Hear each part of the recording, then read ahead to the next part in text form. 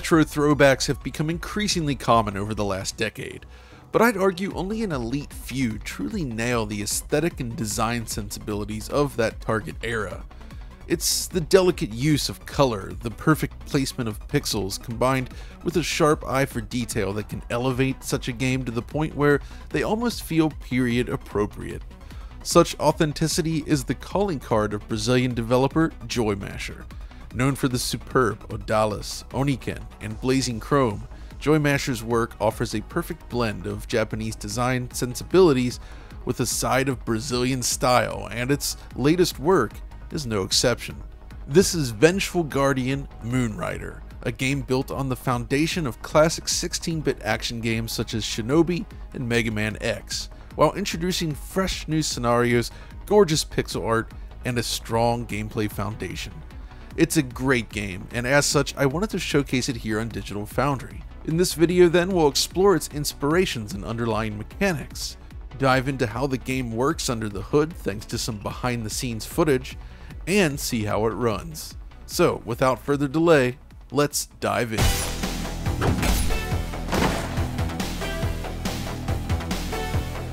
In 1987, Sega unleashed a platform action game known as Shinobi. Building on concepts pioneered in Namco's Rolling Thunder, Shinobi asks players to fight their way across a range of stages in pursuit of the Zeed terrorist organization. It was challenging, meticulous, and a colossal hit for Sega. It's 1989's The Revenge of Shinobi, however, that really caught my attention.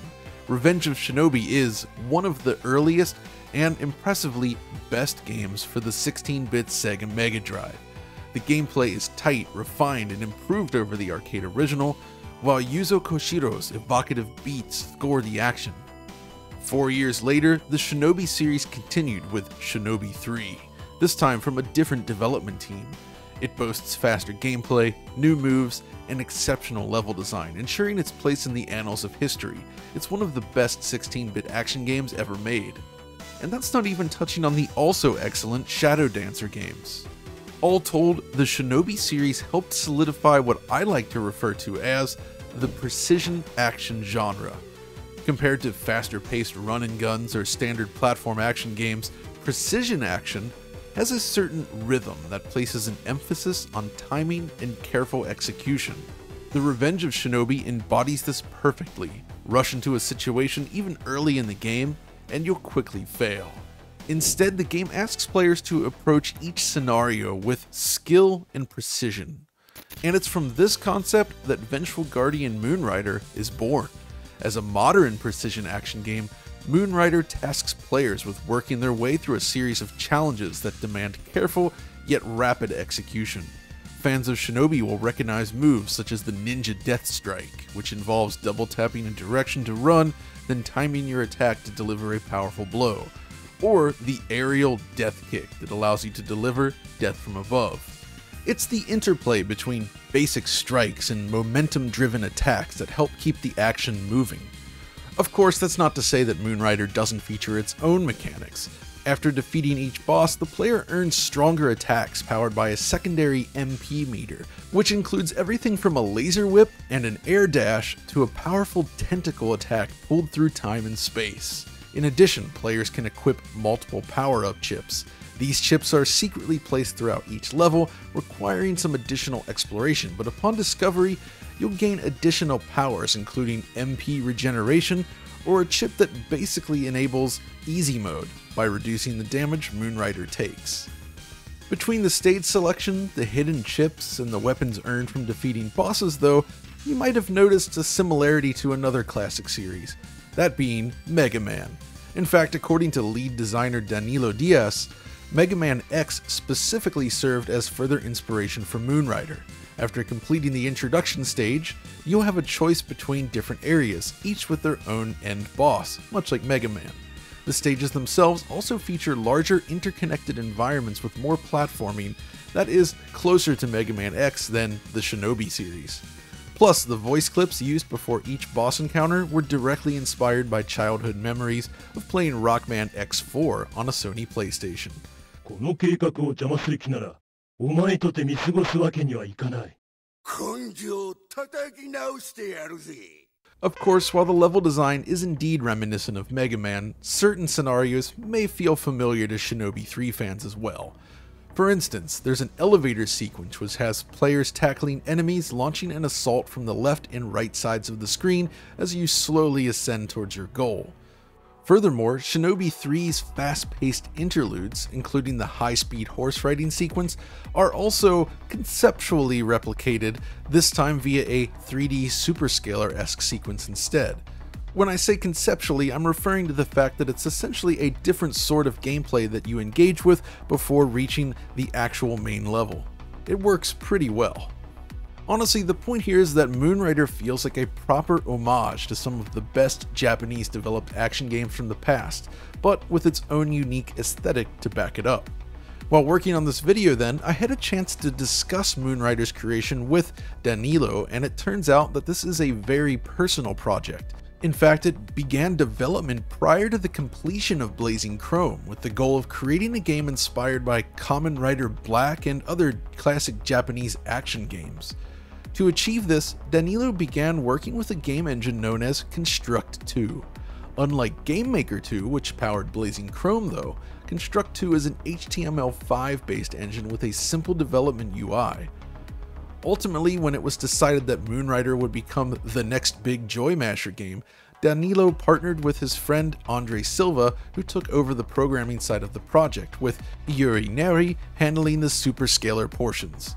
So I wondered, what did the pipeline look like from plotting those original pixels all the way to implementing the actual gameplay?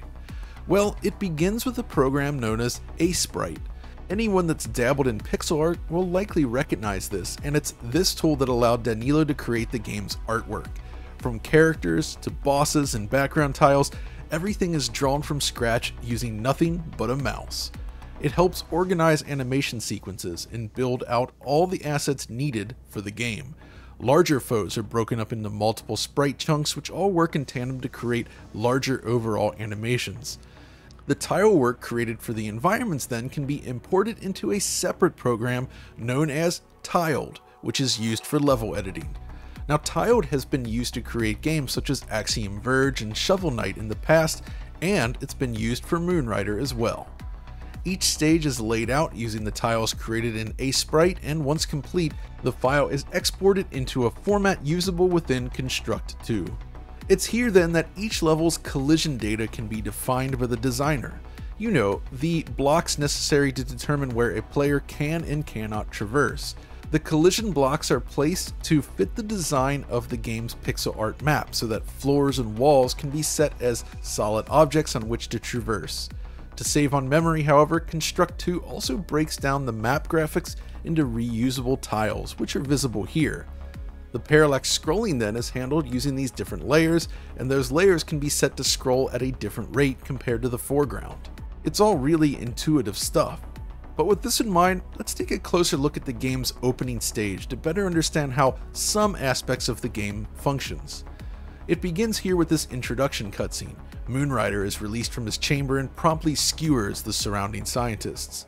So how does a sequence like this work?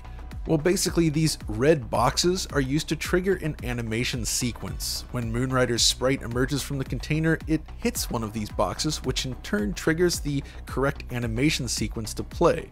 An animation sequence he would have drawn in Aseprite. Within Construct 2 then, each box is defined by values assigned here. You'll notice that each animation sequence has a timer associated with it rather than a number of frames. So between these values, the game will play that specific sequence, while the next values will trigger a different sequence. It's simply a means of creating these basic cutscenes, but it works really well. Once that's complete then you're handed control of Moonrider and can begin playing the game. This is where the camera comes into play. As a side-scrolling game, the camera follows the player character around the map, but this also determines enemy behavior and spawning. So how does that work? Well, this colored frame here represents the camera around Moonrider. You can see his life bar up here in the upper left corner as well. Scripted events, such as enemy spawns, are controlled by variables referencing these colored borders. For instance, if you click on this enemy here, there's a series of variables referring to the different sides of the frame. This one here refers to the right hand side of the camera, though it's written in Portuguese. If you set it to true, the game will spawn this enemy when the right side of the camera collides with this object. If you set the enemy to spawn on the left border, however, the enemy will instead spawn behind the player after walking past them. It's a simple setup, but it's effective, right? And every enemy you encounter has these variables, which controls how and when they appear within a scene. Now if we continue, we encounter the first item box. This sprite can have three variables to define its context. HP, which refers to your life, lives, which is the number of lives you have, and MP, referring to the secondary power meter. Those are the three power-ups you'll encounter during gameplay. But if you look above that, you might also notice sword, spear, and boomerang variables. According to Danilo, this refers to the game's original design, which we can see here. Basically, in this initial version, Moonrider would pick up one of three items to use as his primary weapon, the spear, sword, or boomerang. And when you walk over a new weapon, your prior weapon will pop out much like a secondary item in a Castlevania game. Which raises another interesting point. Danilo noted that early on, Moonrider was designed to play more like Castlevania Rondo of Blood on the PC Engine. By that I mean each stage would offer two unique paths, with each resulting in a branching stage and a unique boss battle. Depending on the path you take, the level you'd then play next would also change, this is exactly how Rondo of Blood functions, but in this case, it was decided to move to a more Mega Man-like level selection screen to ensure that players could experience every level on their way to the end.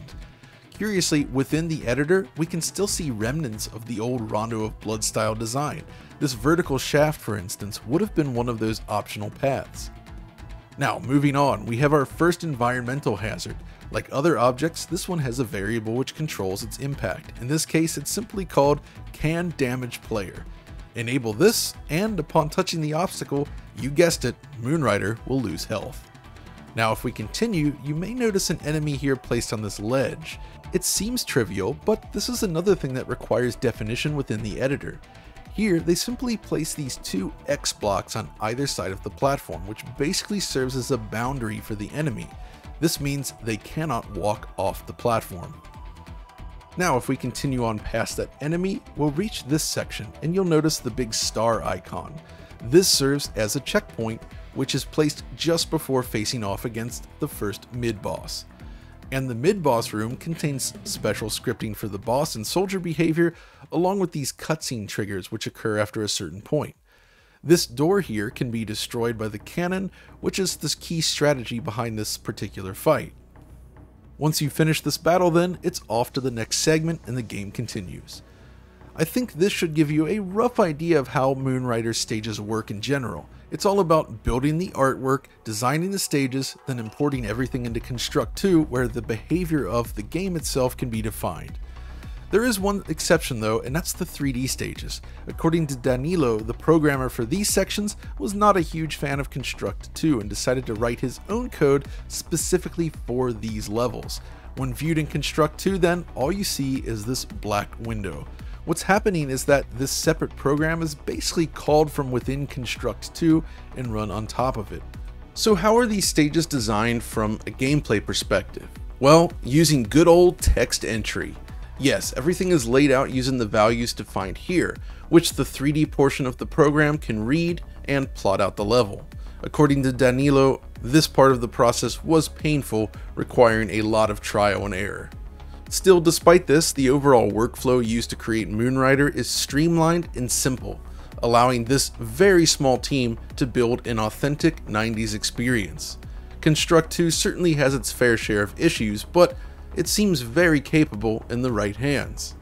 So with this in mind, how do the various ports of this game run?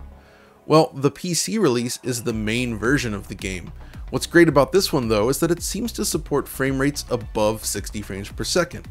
2D platform games feel absolutely sublime when played at higher frame rates, so this is a key feature that greatly enhances the overall experience. Beyond that, it seems to work and run without issue.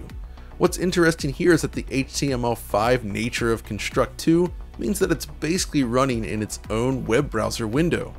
That doesn't sound like a good thing, but trust me, it works pretty well. Alas, this solution was not especially viable on console platforms. I played through the game on Nintendo Switch, but it is available on other platforms as well. The problem here is that the default method for playing a Construct 2 game simply wasn't fast enough to run on the Switch, so they had to come up with another solution. To solve it, the game was converted to the C language by Ratalaika Games, from what I can tell anyways, allowing it to run fast and smooth without issue. The key here is that even if you're playing on Switch, the frame rate remains locked at 60 frames per second without any performance hiccups to speak of. It's rock solid. I know, for a 2D pixel art game that may not seem like a huge accomplishment, but we've seen enough titles released over the years that do struggle to run well on Switch even with 2D pixel art, so it's important to point this out. Furthermore, input latency is not an issue here, the game is fast and responsive across every platform. But there is one caveat regarding the controls. Moonrider features two different types of aerial kicks, a vertical kick and another one at an angle. Problem is, if you're playing this game in portable mode on the Switch, I found it difficult to pull off these individual moves using the default Joy-Con. In fact, a Pro controller was basically required to pull off these moves reliably. This is a game that demands a good D-pad. No matter which version you play, however, you'll be treated to the same excellent soundtrack. According to Danilo, composer Dominic Ninmark was inspired to create a soundscape resembling an early 90s Mega CD game. In creating the compositions, he used period-appropriate Yamaha samples and synths in order to ensure it accomplishes this goal. The results, I think, are pretty good.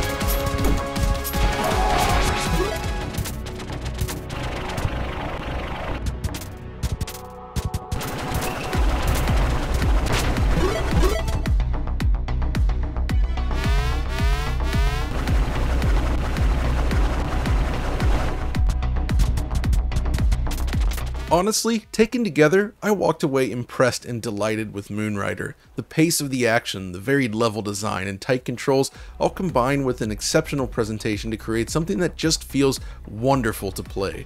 It's very clearly a passion project that taps directly into classic 90s action games, which means it may not suit everyone's tastes, but if you are a fan of these games, you need to play Moonrider.